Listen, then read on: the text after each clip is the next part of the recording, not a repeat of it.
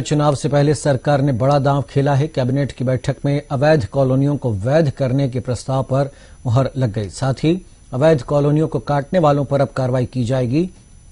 Coloniser को सात साल तक की सजा और दस लाख तक का जुर्माना लगाया जाएगा। साथ ही संपत्ति कुर्क कर उस कॉलोनी का विकास करवाया जाएगा। वहीं कॉलोनी बनाने की अनुमति देने वाले अधिकारियों पर भी कार्रवाई होगी।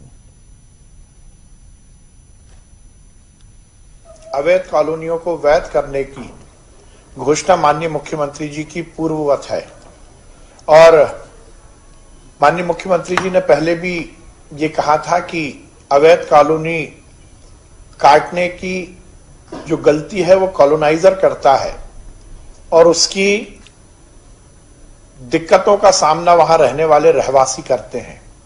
और उसके कारण लंबे समय से ऐसी अवैध कॉलोनी में जहाँ एक और विकास के कार्य अवरुद्ध थे तो उसके साथ साथ ऐसे कॉलोनाइजर पर कहीं भी प्रतिबंध जैसी स्थिति नहीं रहती थी। कैबिनेट की बैठक में